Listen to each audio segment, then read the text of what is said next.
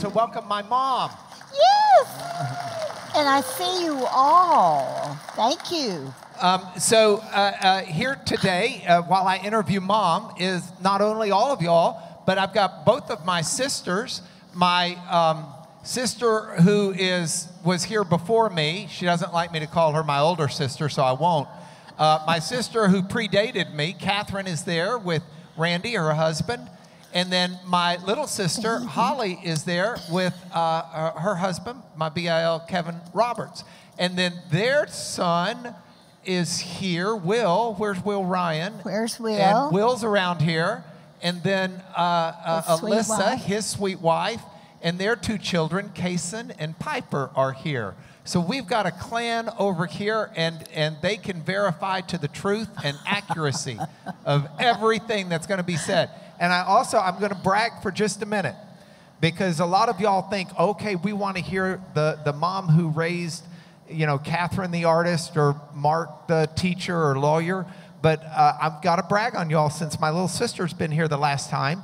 Uh, she has been made the CEO, the head of Bible Study Fellowship, the whole international thing. And uh, uh, just really serving the Lord there. And, and any of you who've been blessed by BSF uh, uh, know that that's, that's a pretty cool deal. So we've got the mom of the BSF queen uh, here as well. So let me, let me start with mom. And mom, um, I just want to go back to where you and dad met. Dad has uh, left us uh, February of 2004. But uh, tell us where y'all met. Well, I'll tell you, my husband um, was at North Texas University, and I was at Texas um, Women's University, and um, somebody arranged a blind date. And I was very careful never to go with someone that I wouldn't marry. And I had somebody else I kind of liked, but my criteria, and I think this is the criteria everybody should use when they look for a husband, is find somebody that loves God. Find somebody that's smarter than you and you can respect. And find somebody that amuses you and makes you laugh. Uh, you want them to be attractive, but you don't care that they're really handsome because time changes all of us. Okay, so you and dad meet, fall in love, get married, and welcome the first child, Catherine. Where were we? Where were y'all living when Catherine Well, came into the world? Well, Catherine was born when we lived in Denton, and by that time I had become a certified social worker. But it was not long after that that we moved to Dallas. And because my husband worked for the railroad, he worked for the railroad before he was in the Navy. He went to the Navy, he came back, he went to school, and then he said, Really, I only want to work for the railroad. And he worked for the Texas and Pacific Railroad, and they changed ownerships a bunch of times. And every time they changed, we moved. So we moved to Dallas, and uh, Mark was born. Uh, October 20th, 1960. But you don't send him a present, send me the present because the mother deserves it. okay. I, I'm hearing amens from half of the All the people in here. mothers. Um, uh, okay, so uh, I I was born. We moved. Well, wait a minute. Let me tell you about. I, I'm so glad he asked me. I think I want to tell you uh, that when your children are little, really little, the secret is to establish a routine. And that routine has to include bedtime prayers. Do you still remember your bedtime prayer? Yeah, uh, you taught us. Uh, now I lay me down to sleep. I pray the Lord my soul to keep. If I should die before I wake, I pray the Lord my soul to take. God bless. And then I'd list everybody, and I had to list myself last. In Jesus' name, Amen. You got it. Okay. But that's a really good way to make them think about not just their parents, but as their family grows uh, and as their friends grow. Okay, we moved from Dallas. All right, so um, let's. Uh, one, one of my earliest memories is being at a Mardi Gras parade when we lived in New Orleans. Right. I was on Dad's shoulders. You were down to the left. These floats are going by and they're throwing candy. And dad catches candy and hands it up to me. And I said, and I, and I was old enough to think, don't you normally pay for stuff? Because you, you got to pay for things. And I said, do we pay? Do we pay? And you said, no, it's free. And my thought in the mind of, I guess, a three year old kid was, why on earth have we not been doing this every day? And that's the story, except Mark could not talk. At least I thought he couldn't talk until he was over two, because Catherine would point to everything. My family and his family lived in Texas, so we would plan these long drives back from New Orleans to Texas. And we had a Nash Rambler, so we'd make the seat down in the back. And uh, I had taken Mark to the doctor. He still, I said he won't speak. The doctor said he doesn't need to. He's got a sister who tells him what he wants. So we were in the car driving to um, Abilene, Texas, and it was night, and I thought the kids were asleep. And I said, I'm, I'm worried. Uh, do you think they're cold back there? And Mark said, first words I'd ever heard him speak Cajun. My feet cold, no. and so I realized at that moment that our next door neighbor had had an enormous influence on him. So be careful who you live by, or they'll grow up talking who knows what. Yeah, yeah, my feet cold, no. Uh, uh, that's okay by me if it's okay by you. Uh, so anyway, the uh, we moved back uh, to Texas eventually. I think we lived in Shreveport as yes, well. Yes, we lived in Shreveport, and while Bill was gone, uh, Shreveport had a huge tornado, and it was at that time that Catherine was learning to tie shoes, and she kept saying, I'll do it myself, I'll do it myself. And I realized that the best thing you can do for your kid is let them do it themselves and teach them how to do it. And so my kids have always done that. I tied my own shoes this morning. I, I did. I really did. Yeah, he did. But we'd had a, this tornado, and um, after Bill got back, we got in the car and we drove through and we saw. You've lived here, you know what a tornado can do because it was a disaster. I had no idea that Mark did not understand. And he thought a giant tomato had come through there and demolished the town. I did not eat salads for years. That's true. Uh, he man, would take the tomatoes, tomato out. They, those tomatoes do damage now. he did not want to offend.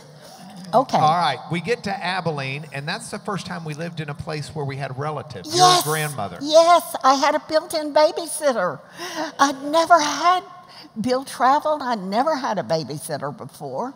So, my, this is where we learned to play games. My grandmother was smart. She did not want to chase you. Uh, so she said, I'll, I'll teach them dominoes.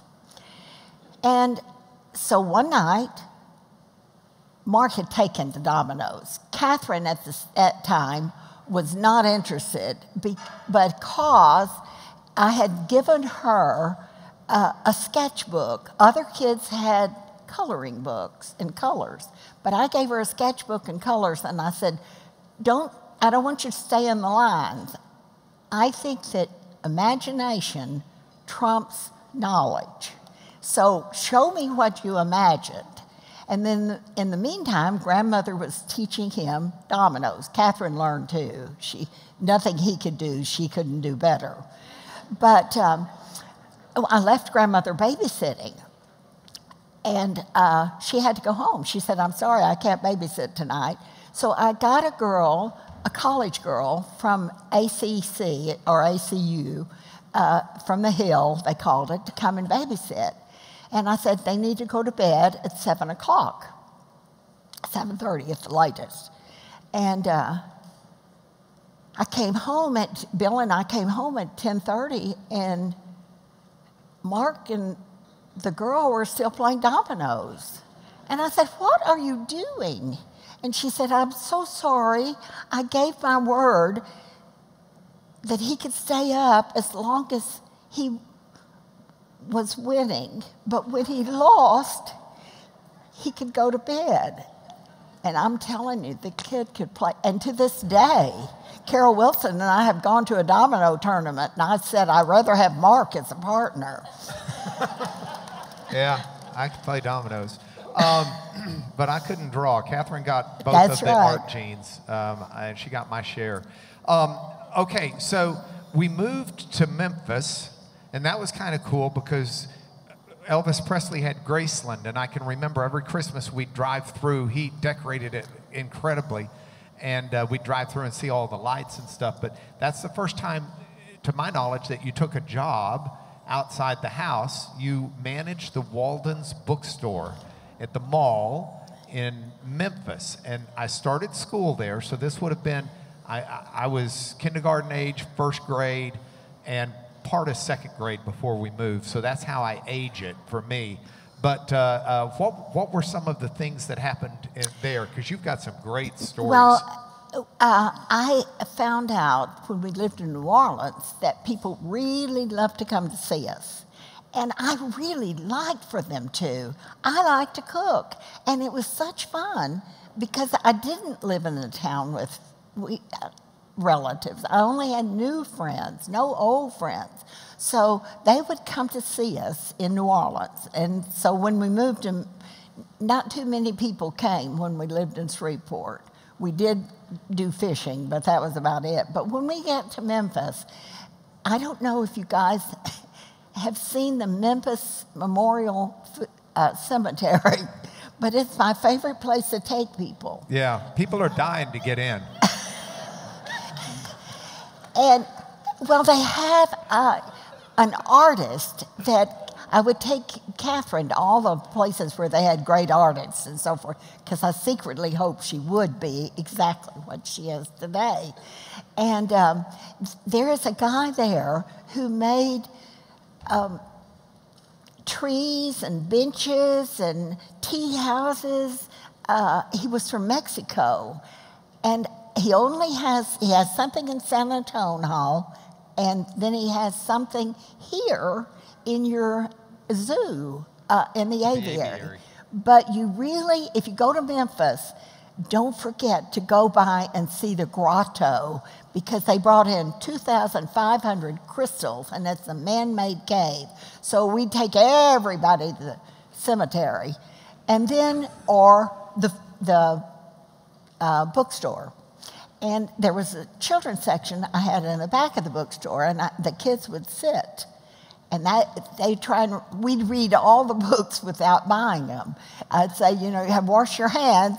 And, and so there's a smorgasbord. Of, you've been to children's bookstore, so they're happy reading. And that's when I met the mistress for Kahlil Gibran. I met the people that had been abducted by the aliens. I met people that lived in the center of the earth. I met, an irregular was, um, uh, what was Elvis's cousin's name? Um, I got Jerry Lou Lewis Jerry Lee Lewis. his wife, who was 13 or 14, and um, they'd had a child drowned in their baby pool, in their swimming pool, which was shaped like a piano. And um, so she said, What can I do? What can I do? And I said, You can only think about one thing at a time. And so you, you can think about God or you can read. And so she said, Recommend a book. And I recommended Nancy Drew because she was 14 and she read the entire series. Did you know that? No, I did not. I'll tell you what. Uh, so one of my memories is because mom worked, we had a kind of a nanny slash housekeeper, and her name was Mary. Mary. And uh, uh, this was back. I just remember when I got out of school. We lived about two blocks, two and a half blocks from the school where I was in school, and, And we, Catherine. yeah, Catherine too. Um, and school would let out at like two thirty or something like that, and we had to get home within 15, 20 minutes because if we weren't home within 15 or 20 minutes, Dark Shadows came on TV, and Mary would lock the doors so the vampires couldn't get in while she watched Dark Shadows. And so we, we were either going to be locked out of the house or we had to be in the house by the time Dark Shadows started. So she could lock the door and scream for the next 30 minutes at Barnabas Collins coming to get whomever it was he was coming to get. And I didn't find out until later in life what was really going on there.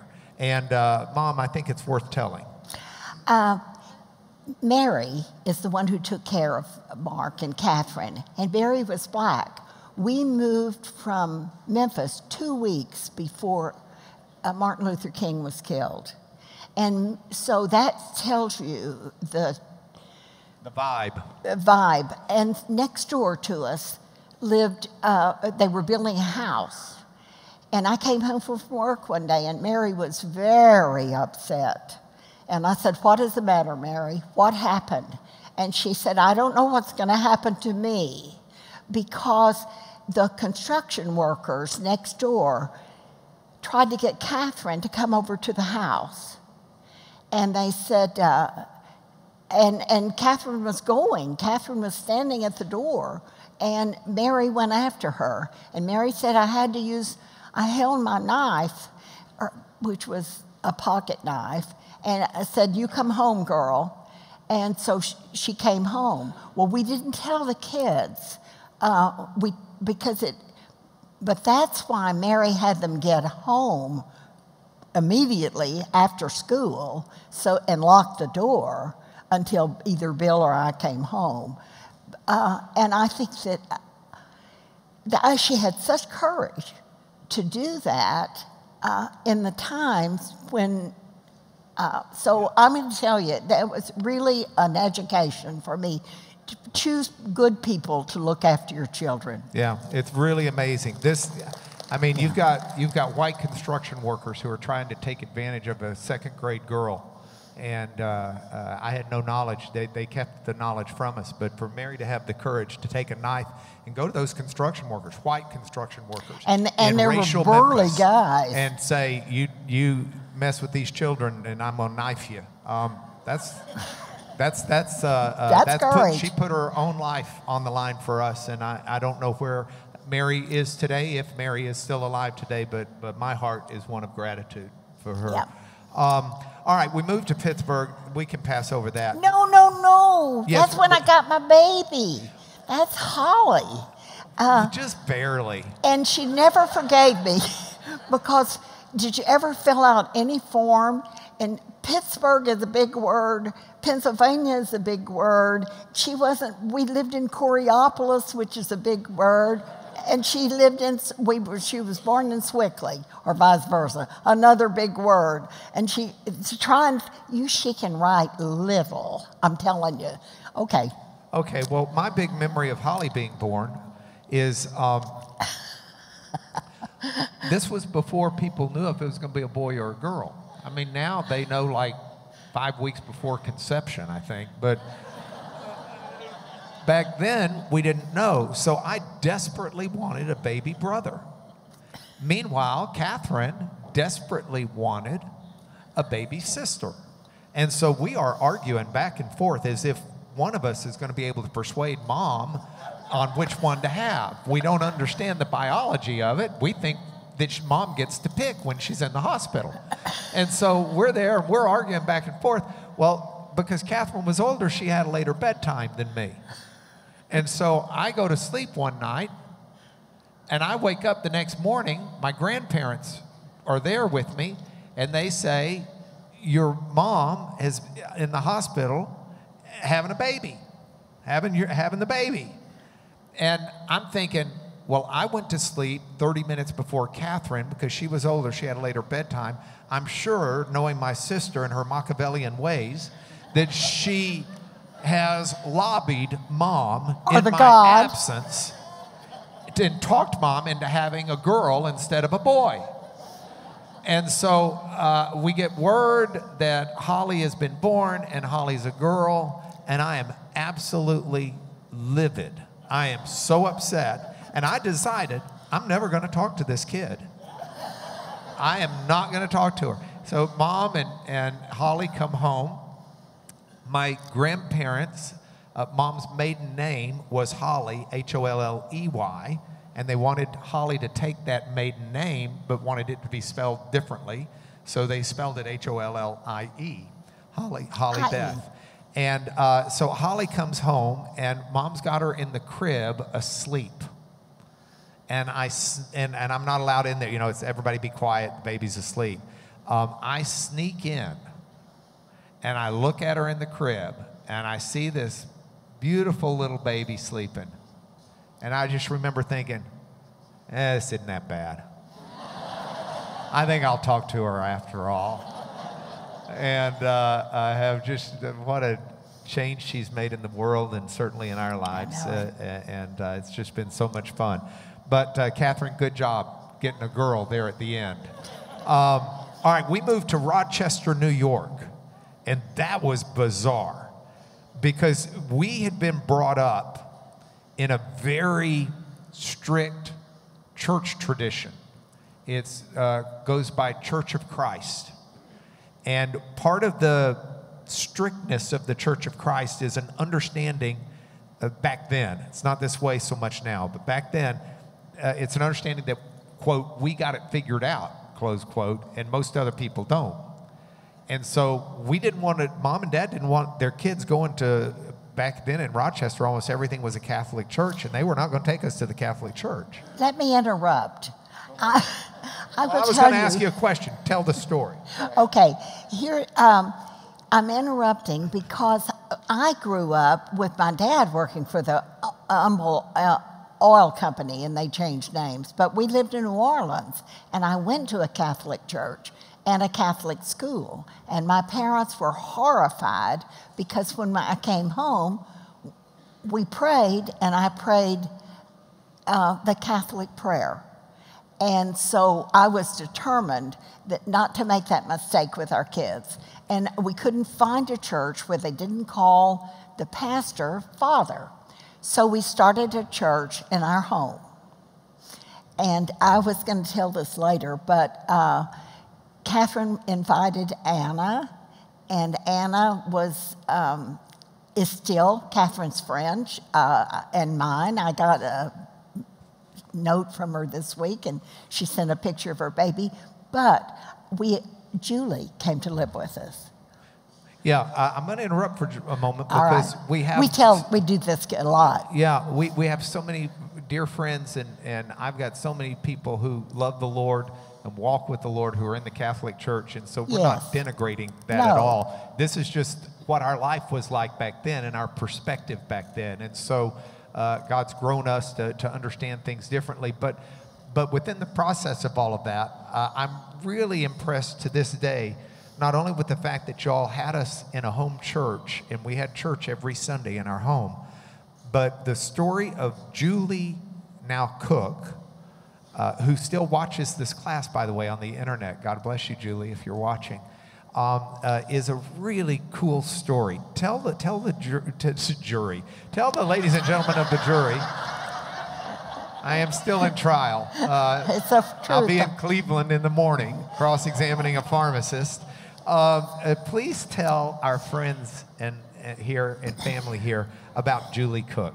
Well, what was uh, so nice about living the, in the apartments next to RIT Which is Rochester Institute of Technology. We lived in an apartment complex across the street from one of the colleges in Yes. Rochester, New York. And so uh, people would either sit at the playground or sit on their steps, and you'd meet people from all over the world. And I met the people uh, who told me, and I met Julie uh, daily. They had asked her, had gotten permission to bring her from the Oklahoma orphanage to take care of their children. And their children had reached the age that they no longer needed a babysitter. And julie was in her last starting her last year of school college, uh, high school. And um, they were going to send her back to the orphanage. And julie didn't want to go and so um, i said do you mind if she lives with us to finish the year. And they said, no, as long as they still got the money that came from the state for taking care of her. And Julie had no clothes that were cute at all. And we had such fun because I had a sewing machine and they had a machine, they had a shop there where you could go and buy leftover material for 10 cents a pound. It didn't matter what you got. And so we made some of the cutest things you ever saw. And it's not surprising at all that the boy that she was crazy about, named Peter, uh, who used to do the band in our basement. Yeah, yeah, yeah. They played uh, Closer to Home by Grand Funk Railroad. Pretty good rendition. Go ahead. Yeah, yeah. So we had Julie, but we also had next door to us um, the Parks, and they were from Korea, and they did not speak English. And they asked me, their some relative came through town and said, They're here. Will you teach them to drive? And I thought they'd had a car before but they didn't. and so after, I carried Holly with me in the car while the kids were at school. The first time we drove, you didn't have car seats. And his eyes locked on the some kind of water main, and we hit it. I mean, yeah. Well, okay. Let's let's be fair to the Parks. Asking you to teach someone to drive is functionally akin to asking someone with laryngitis to sing the national anthem. What can I say? So I, I asked Bobby Brown, who lived down the street from us, and her, husband was with Wilmer Alexander and the Dukes. And they, really good college band. Go ahead. And they were really good. I asked her to watch. But I asked Holly, while I taught her the parks to drive, but I also said, please don't take her in the basement because marijuana was, I don't know if it was legal in New York. It probably wasn't. No, it but, wasn't. Okay. And I know what happened in that basement. So we never went to the basement, and Holly didn't go either. But um, we, we love the parks. We met Val and Marion Capone, who were marvelous. It, it, it's V A L, not A L, Capone. And their son, Jimmy, uh, we talk Texas all the time. Um, and he came to the University of Texas. Yeah, wound up, uh, took a football scholarship at the University of Texas and played uh, offensive guard. Because but also, while we lived in New York, when we first moved up there, it was so bitter cold. And I said to Bill, we need to do family things, and I have a baby that you took two hours to get into a snowsuit. We needed to figure something to do at home. And as soon as you get her in, guess where she had to go? Uh, but we learned bridge, and the kids were, I don't know how old you were, third, fourth grade? Yeah, it didn't matter. We were still winning. Um, I just They wanted to be my partner. Yeah. Um, we moved to Lubbock. Yes. Now, one of the things that amazed me with, with you, especially as I had kids of my own, is the way you were able to tailor different things to, to the kids differently. So, um, uh, for me, it was give me a chess set and let me go play chess. For Catherine, it was give her a sketchbook and let her draw and, and all. But Holly, you would take the silverware drawer and dump it out on the kitchen table, and she would just love with glee getting to put all the forks and knives and spoons back where they go in order, stacked up very neatly. She was an accountant at heart. Took a degree in accounting. That's exactly right. Um, right. How did you know how to do things differently with each of us? Well, I do think as a twig is bent, so grows the tree. And so uh, I, I tried to tr- teach you first, trust the Lord, and then second, look for your passion, look for the things you love to do. Um, there was one other thing I wanted to tell. Oh, I might tell this about Holly. Um, after all the kids were in school, I decided to go back to work. I had sued, I was president of the League of Women Voters, and we had sued the city for single member districts because everybody was elected at large, and that meant the same people got elected every year, and we wanted it divided by where people lived. Yeah, I look, she's being polite. What happened was originally Lubbock had it set up where everybody voted for just the city council, period. And so it meant the minority areas, and, and Lubbock has th- had three distinct communities when I was growing up there. They had the white community, the Hispanic community, and the African American community. And the only people that got elected to the city council were the white people because they had the majority vote and they could go vote, and, they, and so you had an all white city council that, that really looked to the all white interest of the all white electorate. And uh, mom, uh, I'm very proud of. Uh, uh she and, uh, was president of the League of Women Voters at the time and sued the city uh, in federal court to set up single member districts so that, that we you, won. Yeah, so that so there would be fair representation of the city in the city council and not just of the Good Old Boy Network. and the, the, we had a good city manager. it was not his fault. Larry Cunningham was his name. But uh, he said, and the person they had that was human relation director was also a white man. So I said, This is ridiculous. And he said, And You think you can do any better? I'll hire you. And I said, Okay, I can do a lot better. and so that's when I went to work. Well, the first, one of the first things we started to do was um, work with the police. We had some good police, but they did not know the minority neighborhood. So I had a big meeting in the council chamber uh, where the police came to meet uh, the community, black and brown, and I left Holly downstairs in my office. And that was kind of an open office, and the door was opened, and so people could come and go.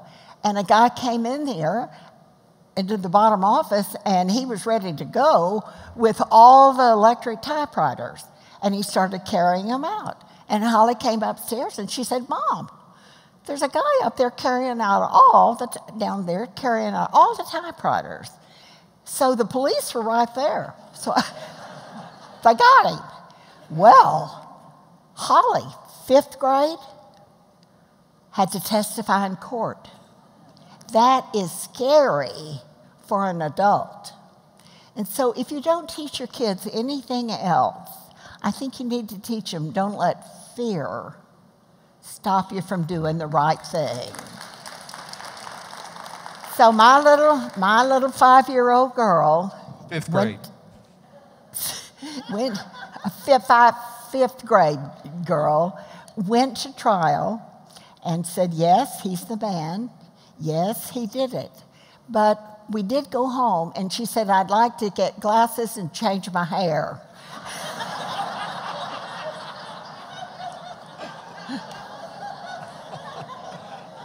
uh, Mom, uh, you wound up, uh, you know, when I remember one Thanksgiving. Y'all remember Peter Jennings?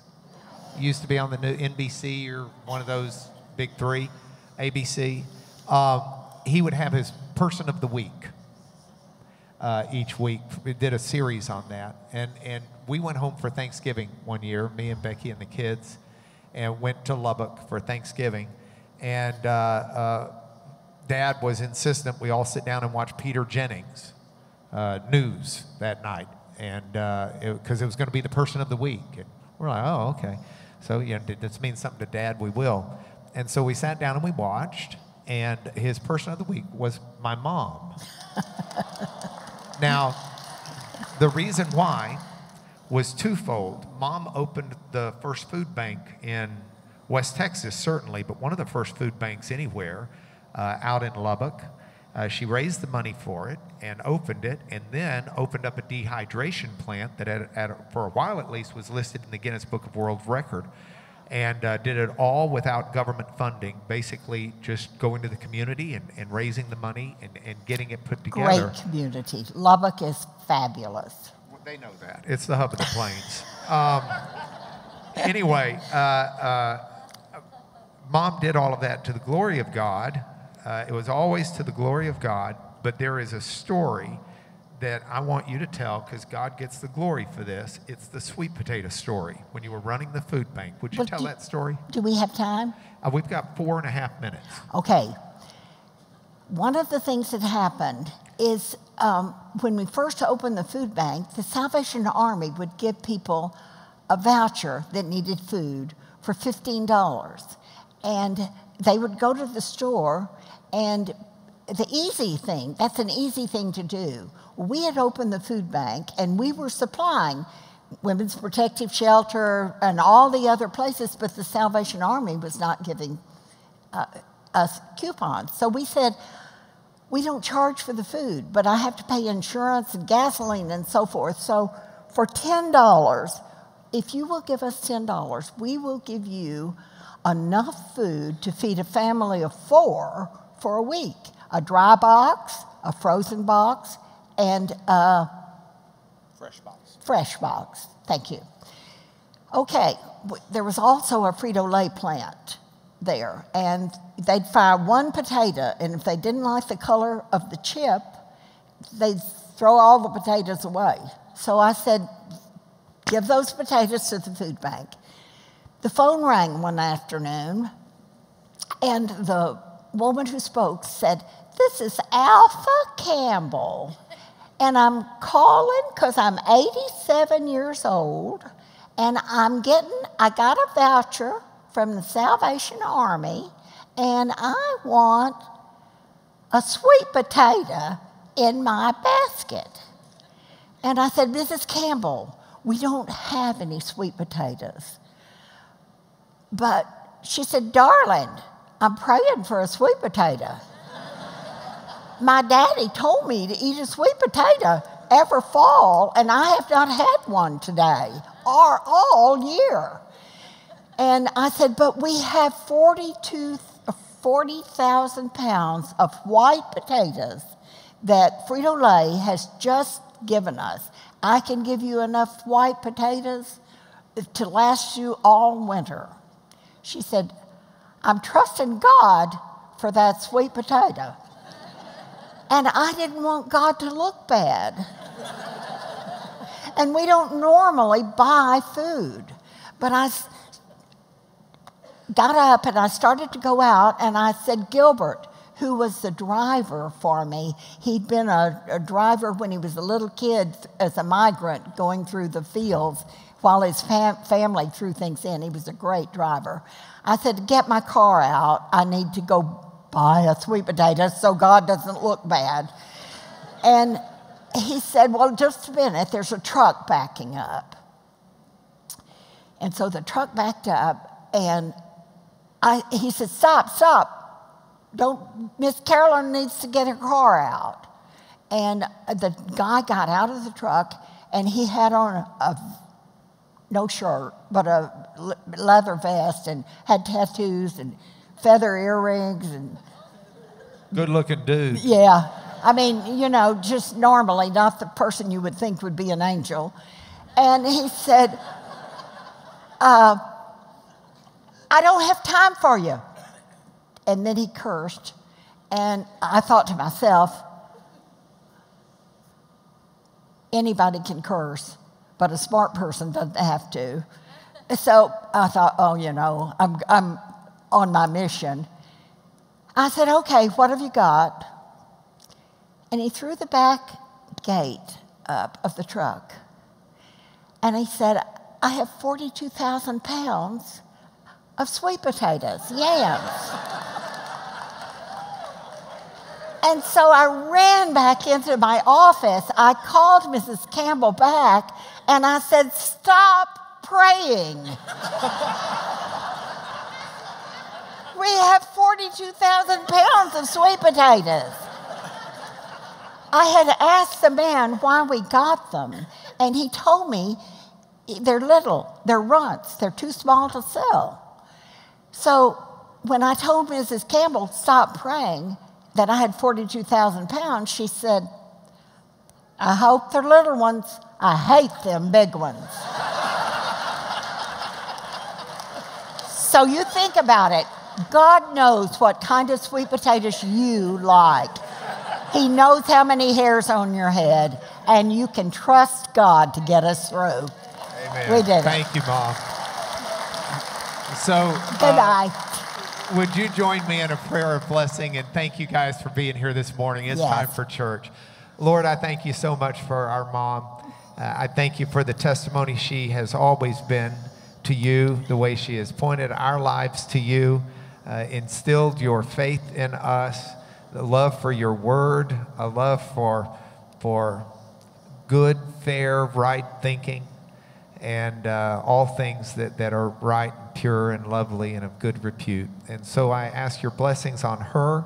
I thank you for her willingness to share this morning. I thank you for our friends and family that are here and pray that in the name of Jesus you will bless them all with whatever small sweet potato needs they've got right now in their lives as the abundant, loving God you are. In Jesus' name, amen.